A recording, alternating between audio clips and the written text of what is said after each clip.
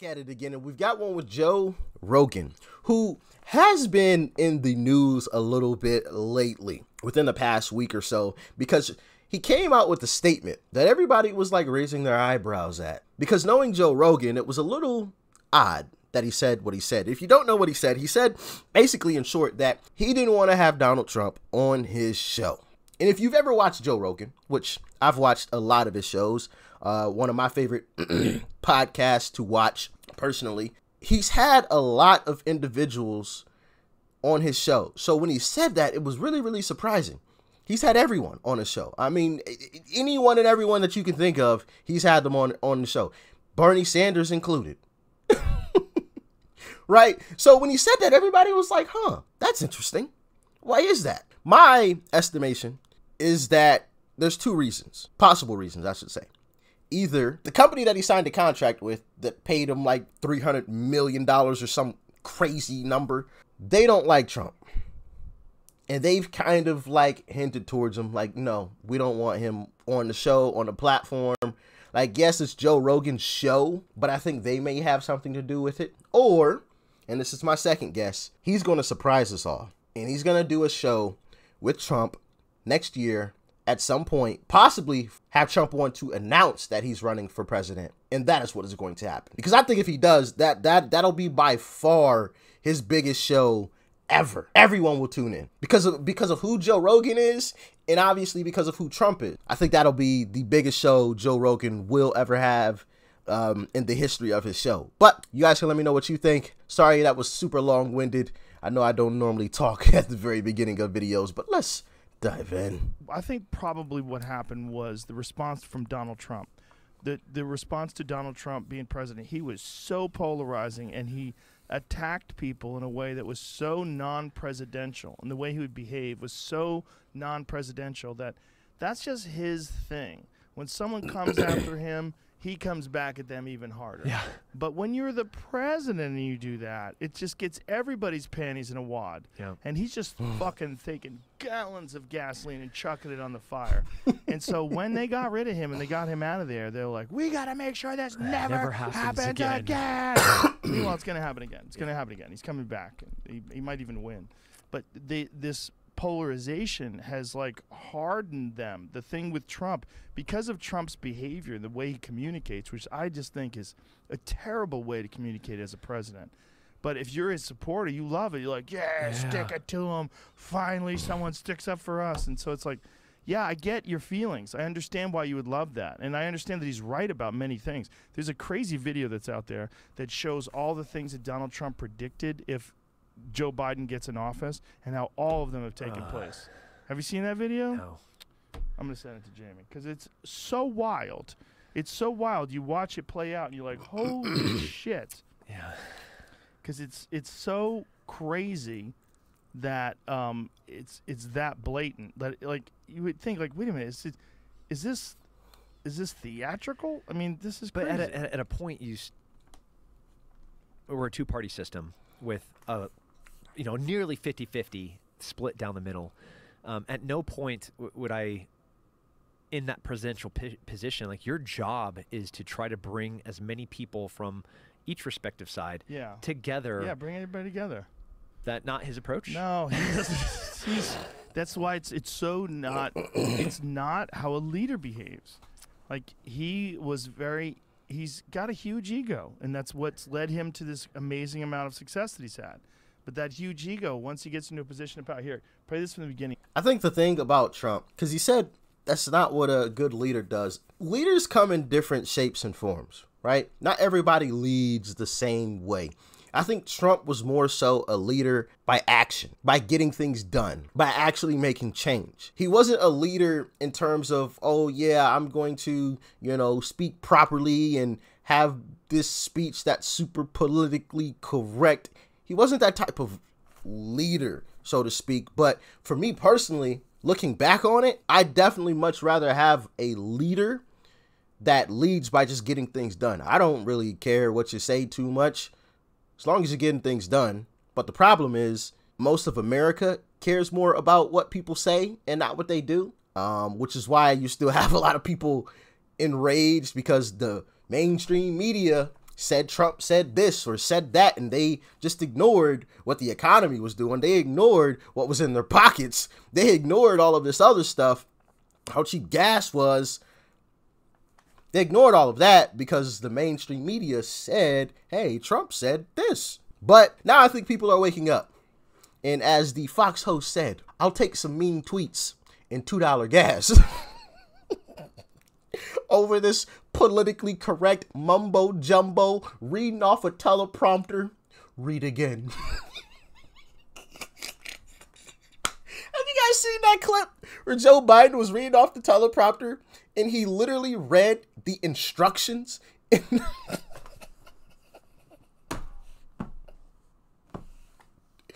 oh my goodness. I'll, I'll take what Trump was doing of what we got going on now. This politically correct $10 gas. Milk's about to be $15 a gallon. I'll take Trump any day, every day, twice on Sunday. this stuff is crazy. craziness out here. And most of America agrees at this point. And it's why I said in, in yesterday's video, Biden is actually bringing this country together in a weird way he's actually reuniting us. Just not the way that Democrats wanted us to be reunited. let's jump back into the video. Yeah, give me some volume.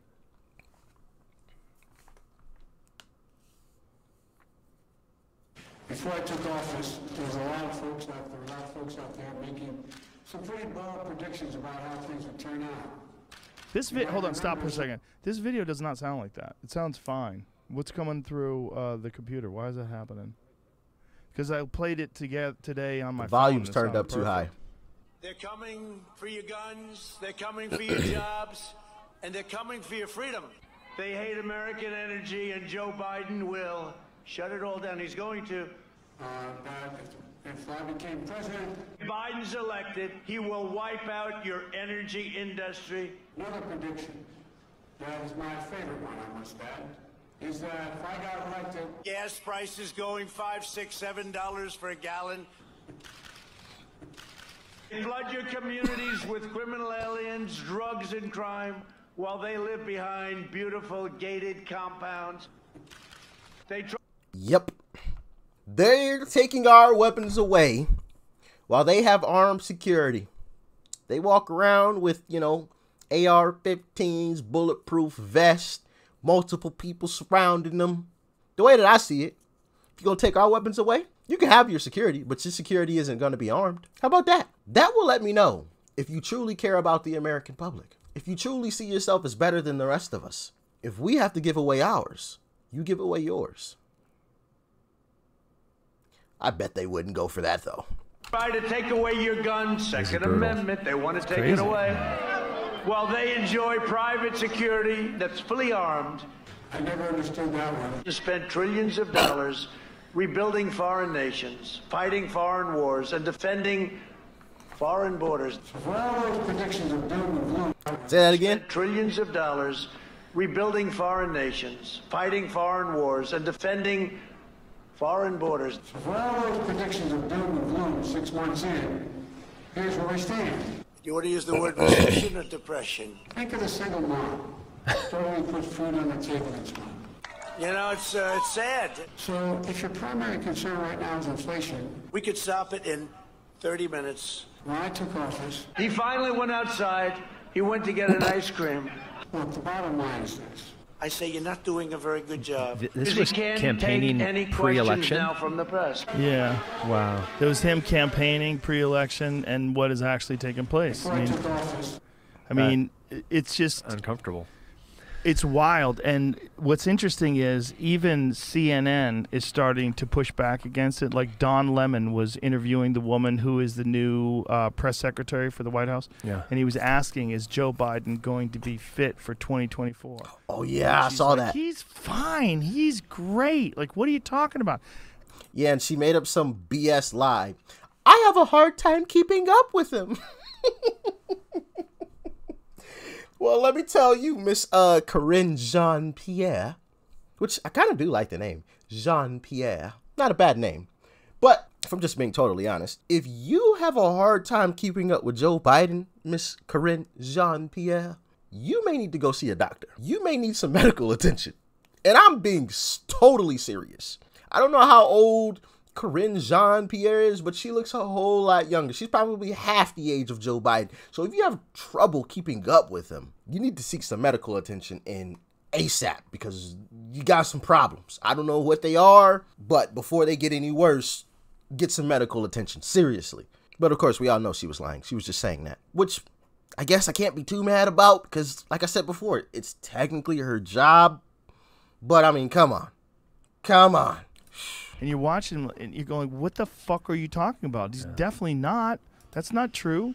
Like, you know that's not true. Like, you're gaslighting us. Yeah, I saw Ocasio Cortez asked if he if she would support the president in a 2024 run, and, she uh, didn't she's like, answer. "Ah, you know, let's let's talk about the issues that we're trying to fix right now, and uh, and they're like, Yeah. so would you support the president? You didn't answer me. That's what the journalist Uh-huh. asked her, and she's like, um, you know, we have issues right now that we need to address first, and like, and then she let her off, you know, but Yeah. yeah, crazy. T- it's gonna be it's gonna be wild.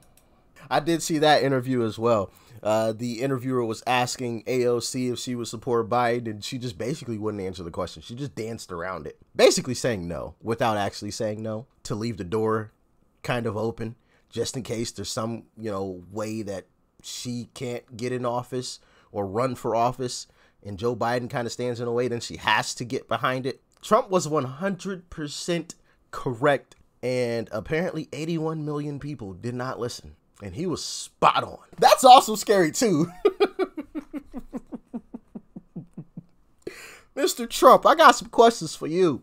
You know, it would be cool if I was able to get Trump right here on the show. I mean, I, I know that that would never happen. Not in a million years it wouldn't happen, but that would be really, really cool if I got an interview with Trump. That that would be awesome. That would be awesome. I'd be I'd be well on my way to uh, competing with Joe Rogan with that one. I'm joking. I'm joking. Joe Rogan's in a league of his own. All right. I'm I'm just little old Doc Rich over here. All right. Don't mind me. But um, all seriousness, looking back on you know the the Trump campaign trail and the things that he was talking about in those speeches, he was, I mean, 100% correct. The Second Amendment, gas prices going through the roof, and you know even if you want to go back to the Second Amendment, it literally says shall not be infringed, and they don't care.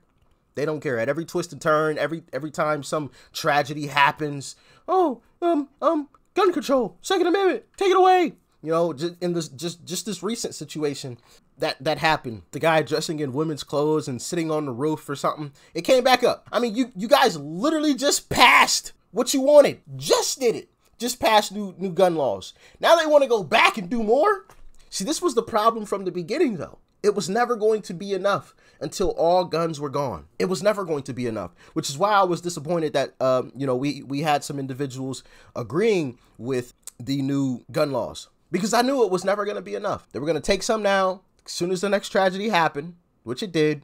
They were going to try to come back and take more. There's going to be another tragedy that happens. They're going to come back and take some more. I mean, it's it's just never going to be enough and we're never going to truly address the underlying issues that come before the weapon. People are led to this point. People don't don't just hop up out of the bed and just all of a sudden, you know what? I'm taking this, blowing it up, and I'm going, you know, on a spree. Like there were some things that led up to that point. Instead of addressing what started that and led to it, we just want to address the end point. You know, where the weapon came into play instead of thinking about why did that person get to that point.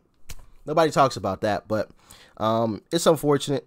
It's sad to watch our, you know, our rights, our true rights get eroded. But as always, y'all let me know what you thought about all of this in the comment section below. If you want to help the channel, hit that like button. It helps out with the YouTube algorithm. Like I said earlier, YouTube hasn't been pushing out my videos more recently to the number of people that they were pushing it out to for whatever reason. I have my suspicions, but make sure you guys are hitting that like button, sharing these videos. It's the arrow button that is down below. You can copy the link and paste it wherever you like Truth Social, Twitter, Instagram, Facebook. You could text it to someone, your neighbor, your friend, whoever.